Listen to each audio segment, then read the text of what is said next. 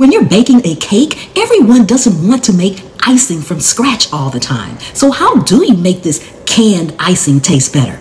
Come with me. I'll show you what to do.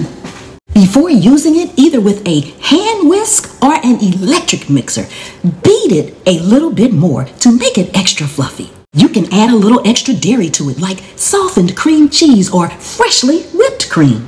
You can add more flavor to it by adding in a spoon or two of peanut butter fruit preserves, or even marshmallow fluff.